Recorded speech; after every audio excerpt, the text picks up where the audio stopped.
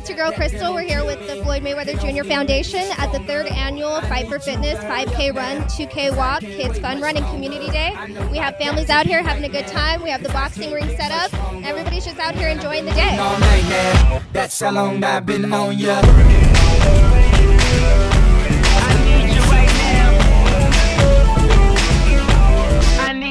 Let's get lost tonight.